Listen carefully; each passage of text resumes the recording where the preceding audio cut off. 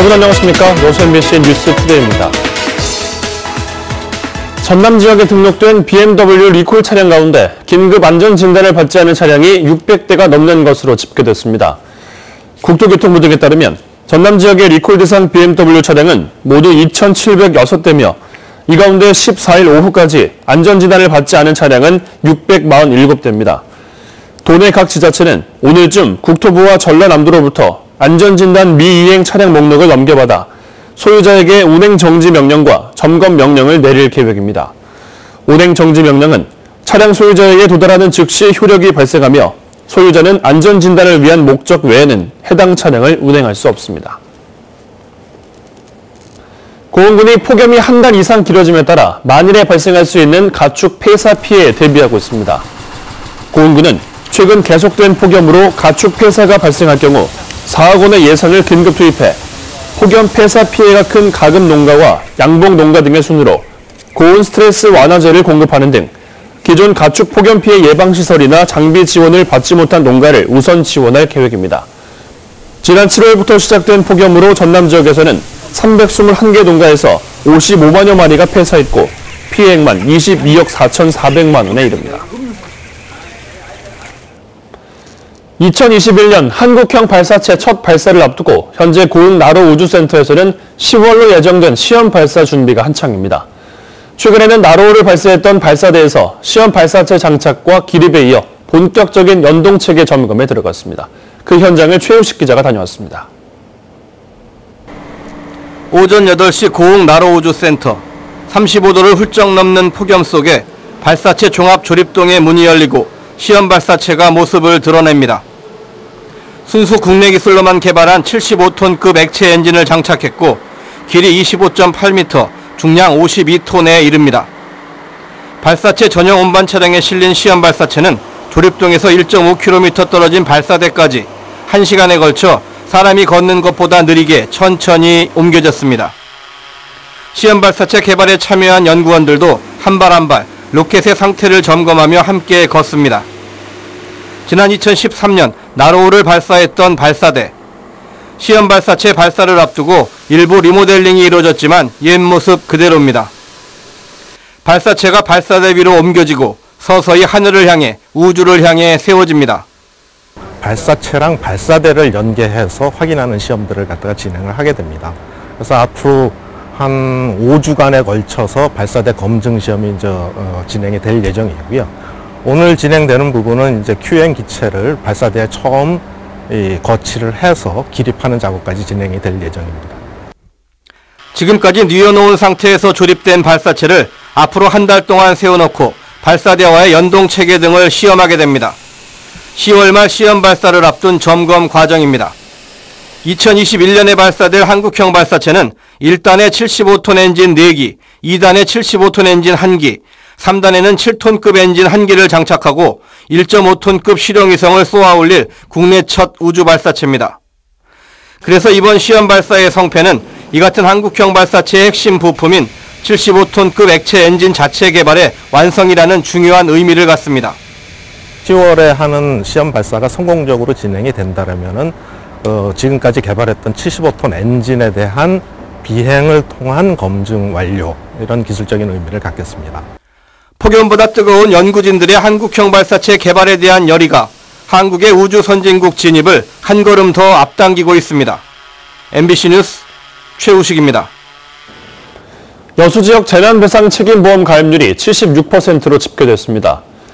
여수시에 따르면 관내 재난배상 책임보험 가입 대상 시설은 1,415곳이며 이 가운데 76%가 보험 가입을 마쳤지만 나머지 320여 곳은 아직 보험에 가입하지 않은 상태입니다. 재난배상 책임보험은 화재나 폭발 등으로 인한 피해를 보상하기 위해 식당이나 숙박업소 등의 소유자가 의무적으로 가입하는 보험으로 이달까지 가입하지 않을 경우 최대 300만 원의 과태료가 부과됩니다. 유치원생 학부모들의 부담을 줄이기 위해 공영형 사립유치원이 시범 운영됩니다. 전남도 교육청은 도내 사립유치원들의 신청을 받아 내년부터 3년 동안 공영형 사립유치원을 운영한다며 사업 설명회와 함께 교육부와 협의를 거쳐 선정 규모를 확정할 계획입니다. 공영형 사립유치원은 공립 수준의 비용이 지원되는 정부 사업으로 각 교육청이 자율적으로 운영합니다. 전남 지역 고3 수험생들은 어떤 전형으로 대학에 더 많이 가고 있을까요? 전남교육청의 비공식적 조사 결과 수험생들의 95%가 수시를 통해 진학을 하는 것으로 알려지고 있습니다. 그런데 정시 확대 쪽으로 기우는 대학 입시 개편안에 지역교육계가 큰 우려를 표하고 있습니다. 양현승 기자입니다. 대학 입시를 앞둔 한 고등학교 3학년 교실입니다. 수험생들에게 정시와 수시를 물었습니다. 수시로 대학을 가려고 생각하는 사람이 얼마나 되는지 한번 손 한번 들어줄래요? 몇몇을 빼고 대부분의 학생들이 수시를 선택하고 있습니다. 정시로 뭐 전국의 학생하고 붙는 것보다 수시로 여기 있는 제 환경 안에서 최선을 다하는 게 예, 수시로 가면 최저 등급을 보지만 정시로 가면 점수 뭐 100분이 표준 점수로 다 보잖아요. 이제 그런 부분이 조금 더 어렵다고 생각해요. 실제로 올해 이 학교 졸업생 가운데 수시 전형으로 대학에 진학한 비율은 95%를 넘어섰습니다. 그 88% 학생 중에서 수시로 대학에 진학 학생들이 95% 정도 어, 되고 있습니다. 전남 전체적으로도 수시 진학이 압도적으로 많습니다. 전라남도 교육청의 비공식적인 조사 결과 지난 2013년 82% 수준이던 수시 비율은 올해 95% 선까지 올라갔을 것으로 추정되고 있습니다. 대학 입시 결과를 인권위 공고사항에 따라서 고등학교 세월화 문제 때문에 정확한 자료는 수집하지 않고 있습니다. 그러나 일반고 체제 개편을 위한 연구용으로 따라서 최근 정시 확대 움직임과 관련해 지역 교육계의 우려가 매우 큽니다. 학교의 모습은 당연히 단순 암기식 그리고 학생의 선택은 전혀 고려되지 않는 그 다양한 활동도 보장되지 못하는 그러한 학교 모습이 아마 다시 돌아오지 않을까라는 10명 가운데 9명 이상이 수시로 대학을 진학하는 전남. 수시 전형 축소는 조금씩 확보되던 학교와 학생의 자율성에 찬물을 끼얹을 것으로 보입니다. MBC 뉴스 양혜승입니다. 네, 어제는 광복절이었습니다. 일제 잔재를 청산하는 일 역시 차일피일 미뤄지고 있습니다. 최근 몇 년 사이에 광주에서 일제 군사시설과 친일 인사 기념비 등이 잇따라 발굴되자 광주시가 대책을 마련하기로 했지만 3년째 첫 발도 떼지 못하고 있습니다. 김인정 기자입니다. 광주 도심 속에 남아있는 일제 강점기 당시 만들어진 지하 동굴입니다. 당시 군사시설 유류 저장고로 쓰인 동굴로 지역민의 강제 동원 역사를 생생하게 보여줍니다.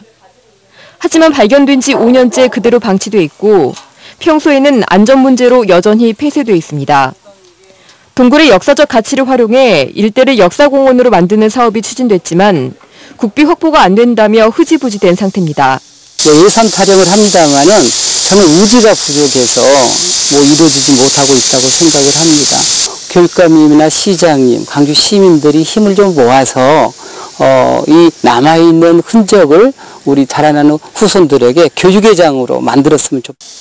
광주공원에 있는 친일파 비석 역시 누군가에 의해 훼손되는 사고까지 발생했지만 3년째 방치 중입니다. 현장에는 대책을 마련 중이라는 광주시의 안내판만 하나 세워져 있을 뿐입니다. 광주시는 지난 2016년 초 도심의 일제 잔재를 전수조사해 대책을 내놓겠다고 한 뒤 늑장을 부리다 시의회의 질타를 받았고 조사 용역은 여전히 첫 발도 못 떼고 있습니다. 좀 아쉬운 것은 뭐냐면 그 동안에라도 사람이 할 수 있는 것들은 그 행정이 아닌 사람이 할 수 있는 것들은 조금 했었으면 좋을 것 같은데 지금도 이제 보시면 아, 시겠지만 주변이 굉장히 지저분하잖아요. 관리가 안 되고 있고.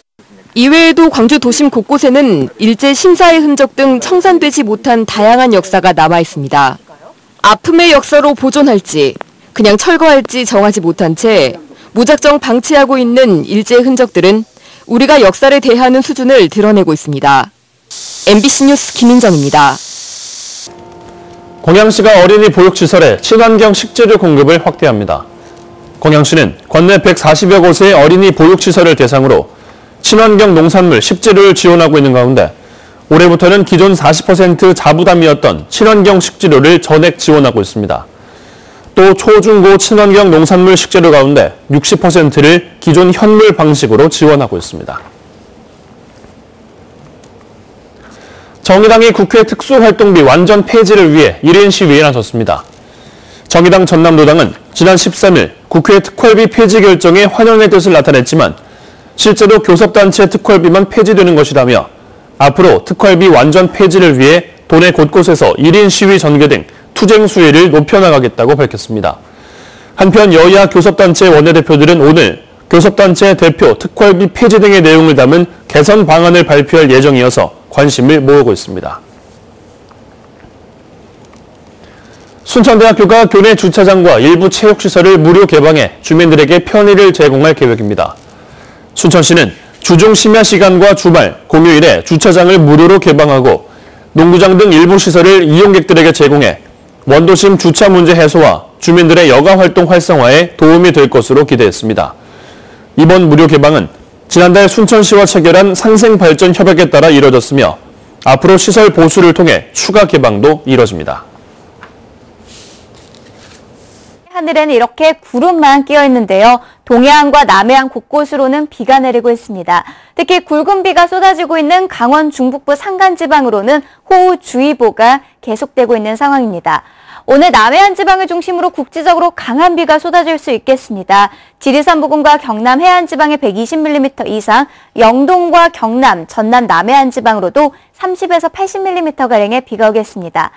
동풍이 불고 비가 내리면서 동쪽 지방의 폭염은 오늘 주춤하겠습니다. 폭염 겨, 경보와 주의보도 완화됐고요. 오늘 대구의 낮 기온이 31도 선에 머물겠습니다. 반면 서울 등 중서부 지방은 오늘도 서울이 34도까지 오르는 등 말복더위가 기승을 부리겠습니다. 날씨였습니다.